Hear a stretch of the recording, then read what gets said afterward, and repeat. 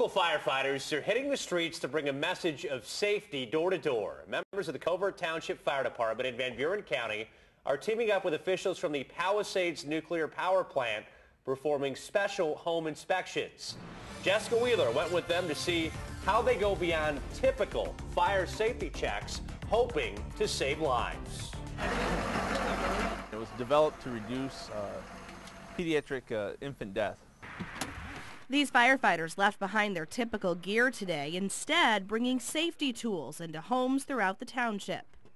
Morning. Good morning. How are you? Good. Good. Going from house to house, they looked for common fire issues and for free installed smoke alarms and fire extinguishers to protect families from fire. But the checks went much further than that. You know, the problem with something like that is, you know, he's obviously he's standing up by himself.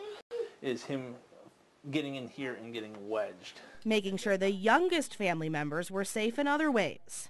The Safe Sleep campaign started in Florida after a high rate of infant sleep deaths, and it's credited with saving lives. That's why more fire departments across the country are now adopting it. Today, the firefighters checked out where babies sleep, asking parents questions and giving them information about protecting their children. We always want to have the child in a crib uh, by themselves with no blankets, pillows, stuffed animals, bumper guards. Um, those are things that can cause a child to get wedged or suffocate. Valuable information to keep families safe in more ways than one. In Covert Township, Jessica Wheeler, News Channel 3. And Covert Township is the second fire department in Michigan to take part in this Safe Sleep program. Kalamazoo Public Safety was the first.